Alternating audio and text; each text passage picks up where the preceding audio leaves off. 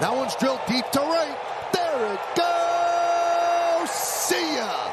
Oh, what a blast by Odor. And the Yankees lead 5 to 3.